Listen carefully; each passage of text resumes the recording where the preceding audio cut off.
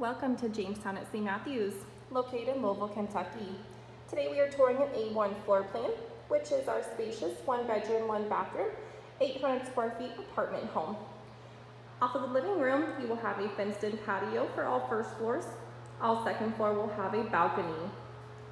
Off the dining room will be your kitchen. Your kitchen will either have additional storage closet or food pantry. In your kitchen, you will see adequate storage along with great counter space. Across from the kitchen, you will have your bedroom. In the bedroom, you will have a full wall closet as well. In the home, you will notice lots of natural light.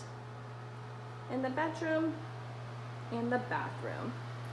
The bathroom will be at the end of the hallway with the linen closet as well.